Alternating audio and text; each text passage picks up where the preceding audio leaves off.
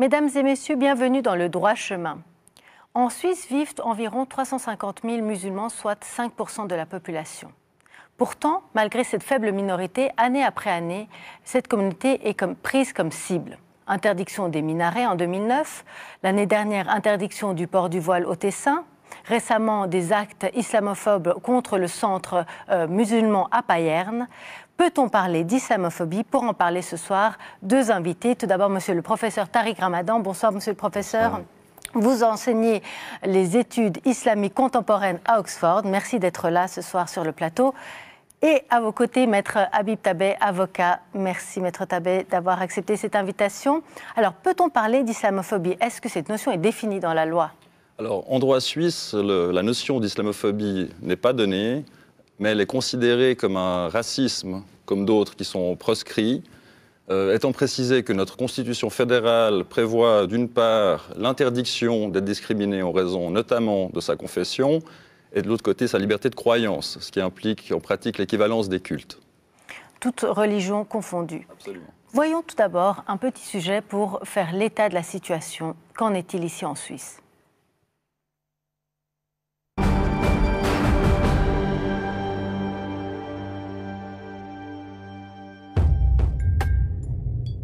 En 2012, 4,9% de la population était de confession musulmane en Suisse.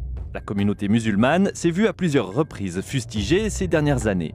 En 2009, l'initiative UDC contre la construction des minarets a été perçue comme une déclaration hostile non seulement en Suisse, mais également dans l'Hexagone.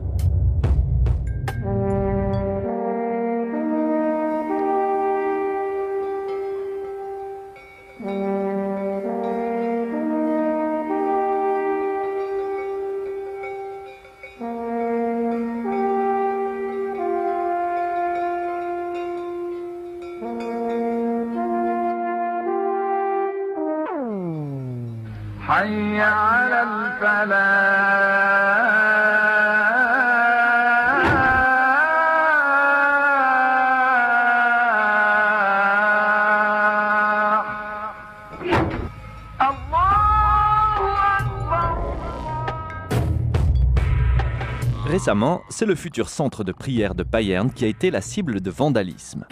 Après la découverte ce week-end de tags néo-nazis sur son futur centre, l'association des musulmans de Payerne a décidé de porter plainte pour incitation à la haine raciale et menace. Les membres de l'association qui se sont réunis hier soir se disent aujourd'hui tristes et surpris, mais ils laissent toutefois une porte ouverte. Ils n'excluent pas de retirer leur plainte si les auteurs de ces tags se font connaître et s'excusent. Le futur centre islamique sur, lequel les tags ont été découverts euh, doit ouvrir ses portes cet été. Abdel Lamangar, citoyen suisse de culture musulmane, a décidé de réagir à ces actes hostiles en fédérant des personnalités suisses et européennes autour de la rédaction d'un manifeste citoyen. Ce qui m'intéresse dans ce manifeste, c'est de dire aux gens que l'histoire de l'islam et des musulmans en Europe et la place qu'on peut avoir n'est pas une affaire ni des musulmans, ni une affaire seulement de quelques politiciens de l'extrême droite. C'est une affaire de chaque citoyen qui doit faire place à son voisin. C'est comme quand vous invitez la voisine qui est musulmane et vous êtes en train de manger à midi et puis vous avez du porc au menu et vous lui faites une tartine au beurre ou vous lui dites tu es obligé de manger soit du porc, soit de quitter. Donc c'est cette place qu'on fait à l'autre, entre guillemets, qui est très importante dans cet acte citoyen. Ce manifeste veut être seulement quelque chose de symbolique et quelque chose de très important qui dit qu'il y a la possibilité de vivre ensemble égaux et différents en partant d'un principe que les cultures, ils ont trois destins pas 25 000.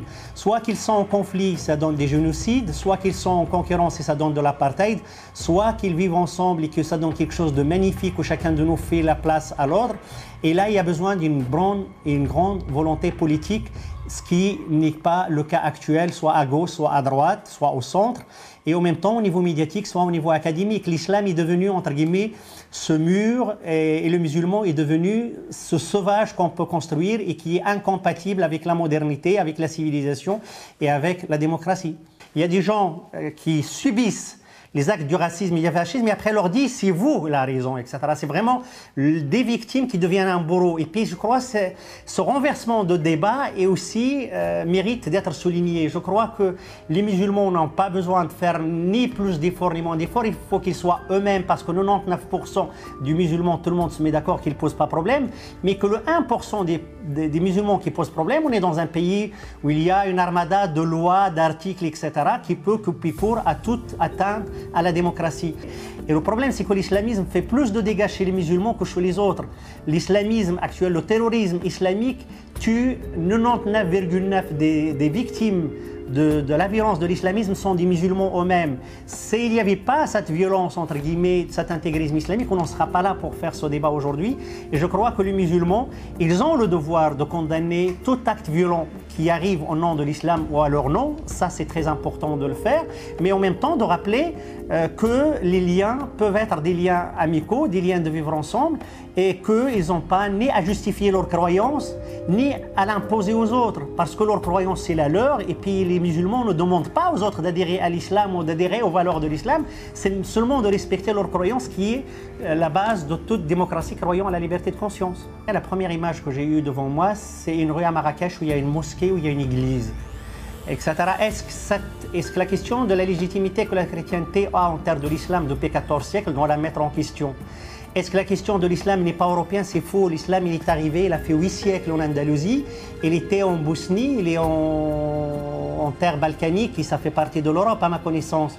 Donc la question de dire que l'islam n'existe pas en Europe et que l'islam, euh, que l'acte de, d'un minaret, c'est une histoire de concurrence, c'est une lecture euh, d'un islam politique très réduite, où il n'y a pas de connaissance de l'islam, et puis il n'y a pas 5000 minarets dans ce pays à ma connaissance, il y en avait trois.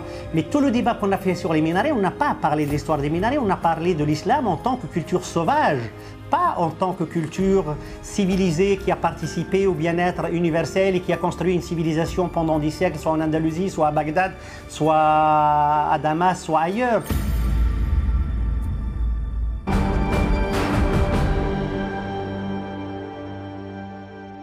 Monsieur le professeur, donc on voit un citoyen suisse de confession musulmane qui fait part de son sentiment et surtout, euh, lorsque l'on l'a interviewé, qui nous a dit le lendemain de, l'acceptation de cette initiative, qui a été quand même un choc, euh, j'ai eu envie de faire quelque chose, un geste citoyen.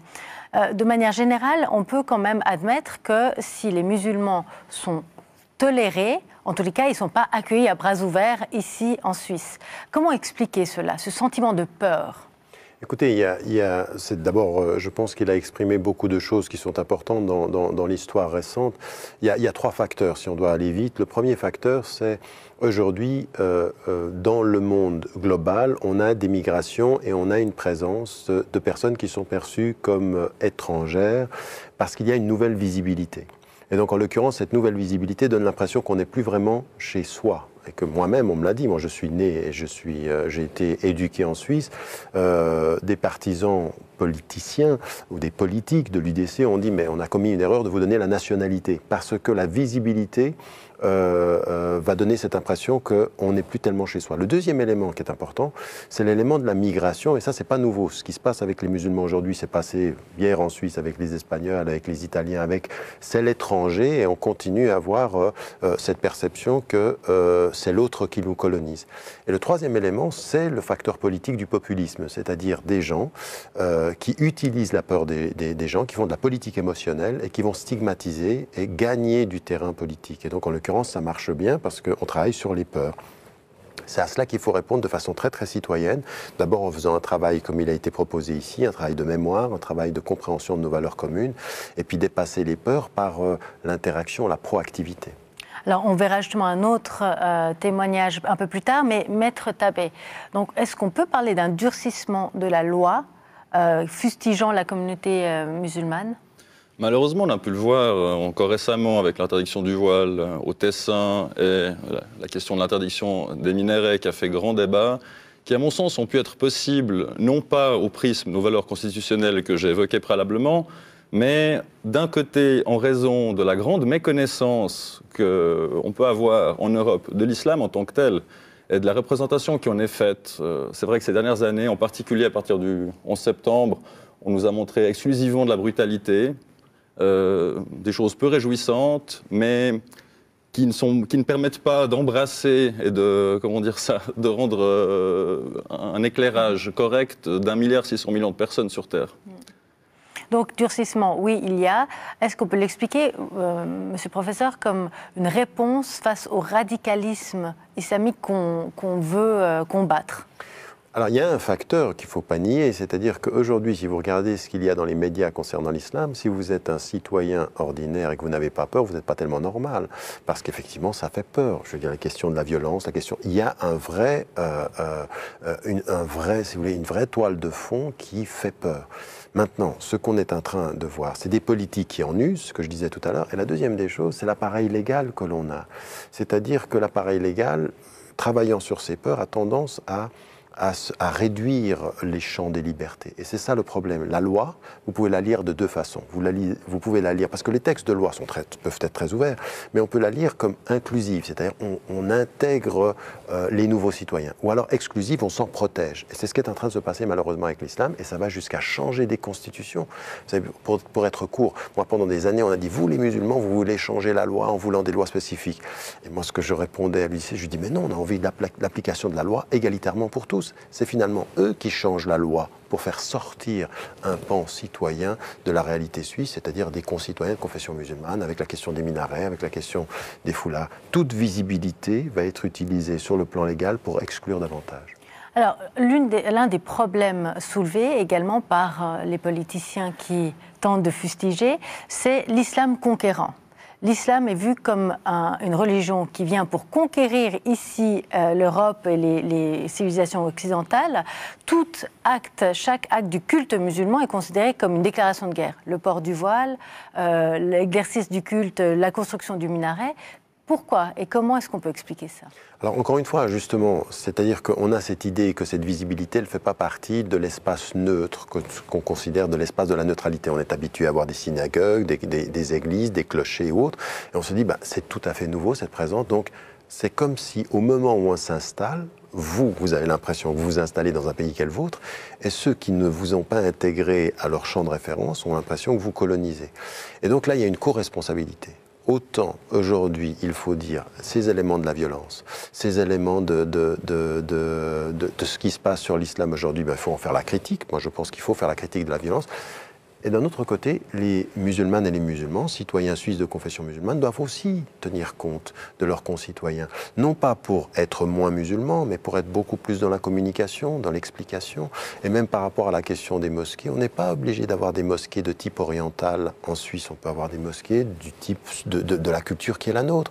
Donc il y a aussi un travail euh, euh, de, de communication, d'explication qui doit se faire. C'est notre responsabilité parce que euh, dire qu'on est ici sans explication, ça donne cette image de l'arrogance qui s'installe.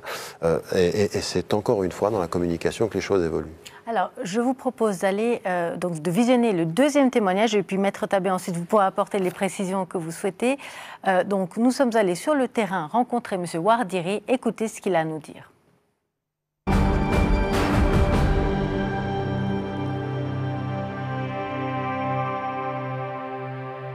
Hafed président de la fondation de l'entreconnaissance, s'attelle à tisser des liens entre la civilisation islamique et le reste du monde. Je vais d'abord vous dire que je suis sur le terrain depuis une quarantaine d'années maintenant. Donc j'ai pu voir les choses euh, évoluer tant au sein de la communauté qu'autour de la communauté dans la société. Il est vrai que le sentiment d'islamophobie existe bel et bien, mais il faut le distinguer entre ce que l'on ressent au sein de la population et ce que l'on entend dans les discours populistes. Et ce qui est malheureux, c'est que la majorité des gens qui deviennent islamophobes sont des gens qui ont une grande ignorance quant à ce qu'est l'islam, quant à leur relation à l'islam, et donc ils ne sont informés qu'à partir des discours politiques de certains partis d'extrême droite. Souvent appelé à jouer un rôle de médiation ou à accompagner des personnes victimes d'islamophobie. Les personnes qui viennent s'adresser à moi sont souvent des personnes qui euh, ont des problèmes par rapport aux emplois.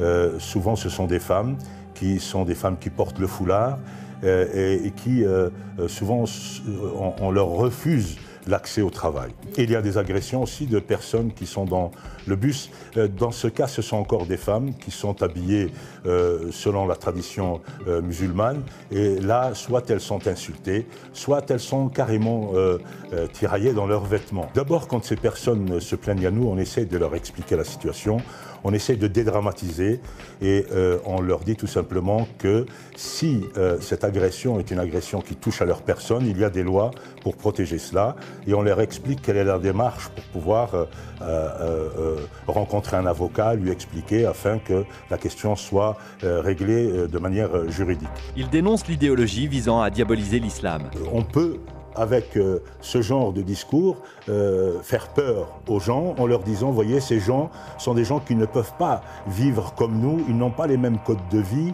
ils sont incompatibles à la démocratie, incompatibles à la laïcité, enfin ils sont des gens qu'il vaut mieux euh, mettre à l'extérieur que de garder auprès de nous parce qu'il faut toujours s'en méfier. Dans un discours comme celui-là, les populations qui ne sont pas suffisamment bien informées et qui n'ont pas suffisamment de connaissances justement des valeurs de l'islam, de ce qu'est les musulmans, de ce qu'est aussi euh, son hospitalité, sa manière de vivre, de ce qu'il peut apporter à la société dans laquelle il vit.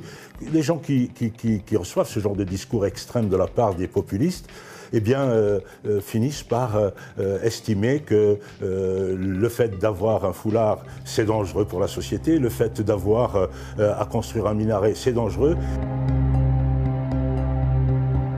Il faut Euh, pour pouvoir avoir euh, une société qui puisse vivre dans cette richesse culturelle, dans cette richesse euh, confessionnelle, il me semble qu'il est important que l'on commence très tôt euh, au niveau des écoles primaires, euh, parce qu'au niveau des écoles primaires, quand vous allez dans certains quartiers, les enfants sont, euh, vivent dans cette, dans cette pluriculturalité et pluriconfessionnalité, puis se sentent très bien à l'aise. C'est malheureusement au moment où ils commencent à devenir de jeunes adultes qu'on commence à leur inculquer l'idée que l'autre qui est différent par la couleur ou différent par la culture ou différent par la religion est quelqu'un qui n'est pas tout à fait dans la conformité des valeurs dans lesquelles lui devrait se développer et on lui développe un sentiment de supériorité par rapport aux autres. Donc ce qu'il faut, c'est essayer de d'aider les, gens à se réhumaniser, à redevenir simplement des êtres humains et que sur cette base justement de confiance et de socle commun d'humanité, eh les différences vont être facilement négociables, euh, facilement euh, euh, mixées pour que au fond le pays évolue dans un sens de la richesse et de la solidarité que dans l'espèce de l'appauvrissement du repli sur soi.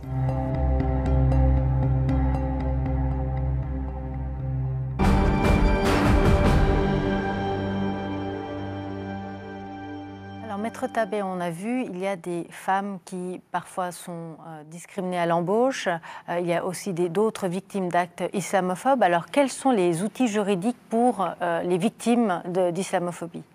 Alors, concernant la discrimination à l'embauche, nous avons une loi fédérale sur l'égalité qui permet de saisir les tribunaux, que ce soit avant, pendant et après les rapports de travail pour des discriminations qui résulteraient de ce fait.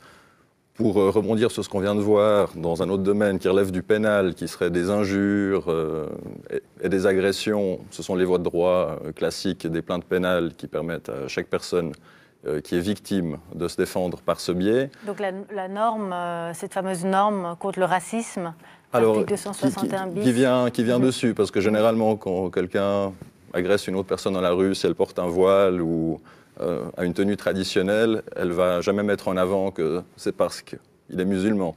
Donc euh, cette norme en particulier proscrit et pénalise l'institution raciale commise en public, ce qui est une notion assez importante. Mais pour des, euh, on va dire des, voies de fait et des agressions quotidiennes, ce seraient les voies classiques qu'on appliquerait. D'accord, donc toute déclaration euh, contre la communauté en particulier, qu'elle soit musulmane, juive ou toute autre euh, religion, euh, pourrait tomber sous le, norme de cette, sous le coup de cette norme Absolument, si c'est proféré en, public avec une volonté de dénigrement de cette communauté, de stigmatisation, voilà. Très bien. Monsieur le professeur, vous, vous avez parlé de l'islam comme religion européenne. Qu'entendez-vous par là? Ben, Plusieurs choses. C'est d'abord euh, euh, un fait que si on étudiait mieux l'histoire, la pensée, la réflexion, les arts, les sciences, on s'apercevrait que les valeurs musulmanes, les valeurs de l'islam sont des valeurs qui sont aussi partagées par l'Europe et qui sont aussi constitutives de, ce qu'est l'Europe aujourd'hui. C'est vrai de toute la tradition andalouse, de toute la tradition philosophique. C'est comme si on avait fait une sorte de, de, euh, de négation de cette participation à l'histoire. La deuxième des choses, c'est qu'aujourd'hui, on a des millions euh, d'Européens de, de, confession musulmane. Ils sont des citoyens, ils ont les mêmes euh, devoirs et les mêmes droits que tous les autres. Et donc aujourd'hui, euh, qu'on le veuille ou non, ça fait partie de la réalité européenne. Donc c'est une religion européenne, c'est une religion suisse. Et donc en l'occurrence, c'est vrai qu'il faut qu'on parle de tout ce que sont ces raisons qui peuvent amener des gens dans leur vie quotidienne à pouvoir être dans le rejet et des politiques à l'instrumentaliser. Et puis ensuite, il faut avoir un discours citoyen, il faut un discours politique, puis il faut avoir un discours légal. Ce dont on vient de parler là maintenant, c'est très important par rapport à l'islamophobie. C'est pas simplement une affaire de sentiment. Il y a des gens qui doivent comprendre qu'on ne peut pas tout dire, qu'on ne peut pas tout faire, qu'il y a des lois dans ce pays et qu'on doit respecter son concitoyen dans sa couleur, dans son histoire, comme dans sa religion. Ça, c'est aussi une démarche qui rendra encore plus clairement euh, l'islam euh, euh, en tant qu'une religion suisse qui doit être respectée comme telle. Mais pour éduquer, pour faire comprendre, il faut aussi un discours clair. Donc très clairement, lorsque l'on parle du statut des femmes, puisque je pense que sous les, civilisations occidentales, c'est ce qui peut-être heurte le plus, c'est de dire ah ben ces femmes, elles ne sont que la moitié d'un homme, on leur inflige le port du voile, elles sont soumises, elles peuvent être répudiées. Qu'est-ce qu'on peut répondre? Quel discours clair peut-on donner par rapport à tous ces préjugés? sujet alors ça, c'est une chose très très importante. Il y, a, deux choses qu'il faut distinguer. On ne peut, quelle que soit la religion, la culture ou la pensée de celui qui pense ce qu'il veut, il doit être respecté par la loi. C'est une chose. On ne peut pas justifier, à cause de ça, un traitement qui serait un traitement discriminatoire. L'islamophobie ne se justifie pas par ce que pourraient penser certains musulmans. Maintenant, vous soulevez un autre problème, qui est celui de la conscience musulmane contemporaine, qui doit aujourd'hui aborder des questions de fond. C'est la question de la violence, dont on a parlé tout à l'heure, c'est la question des femmes, dont on a parlé. Moi, je ne cesse de dire, l'islam n'a pas de problème avec les femmes mais les musulmans ont des problèmes avec la question féminine qu'ils doivent régler. La question, par exemple, du vivre avec euh, autrui, les questions de, des sociétés de droit, la question de la liberté, c'est une question fondamentale, ceci. Et donc, on doit aborder ces questions, mais pas comme des accusés qui devraient prouver qu'ils sont ouverts pour être accusés. Exactement, non. Mhm. Comme des sujets qui ont une tradition religieuse et spirituelle avec laquelle ils doivent proposer et dans laquelle ils doivent proposer de nouvelles interprétations. Ça ne pourra jamais justifier la discrimination, jamais justifier un nouveau type de racisme, jamais justifier l'islamophobie. Et donc, c'est deux choses qui doivent aller de pair, mais l'une ne peut pas justifier l'autre. Alors, cette démarche, euh, vous l'avez faite, monsieur le professeur, avec le philosophe Edgar Morin, dans ce livre que vous venez de, publier, Au péril des idées. Euh, donc, c'est un dialogue que vous avez eu avec monsieur Morin et vous échangez sur les thèmes les plus euh, variés de la croyance en Dieu, puisque lui est, agnostique, des femmes euh, et de toutes, de, ces, de, toutes ces problématiques évoquées.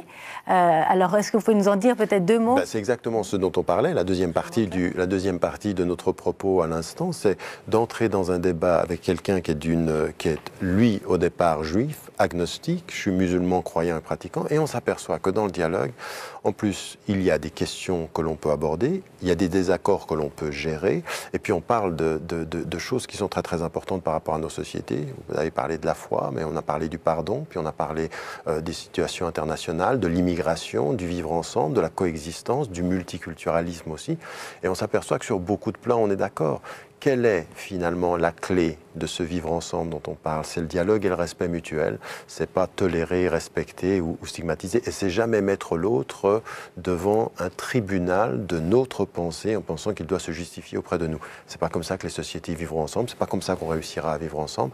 Mais comme il a été dit aussi, et ça c'est très très important, c'est dans ce type de dialogue-là aussi que moi j'ai des questions qui me poussent à faire un travail euh, euh, intérieur et d'introspection, et puis même de, de, de, de proposition de nouvelles réponses. Donc euh, euh, pour moi, c'est ça, cette école-là, qu'il faudrait qu'on puisse également euh, faire parvenir à nos écoles. Nos écoles, c'est ça. Il faut multiplier les connaissances pour pouvoir vivre ensemble et non pas soustraire la connaissance, comme parfois malheureusement nous le faisons dans nos écoles. Donc nous avons une vraie responsabilité scolaire comme sociale. Je vous remercie, monsieur le professeur. Maître, nous arrivons au terme de cette émission. Vous voulez la revoir, www.latélé.ch et ouvrons le dialogue, allons vers l'autre. Bonne suite de programme, bonne soirée.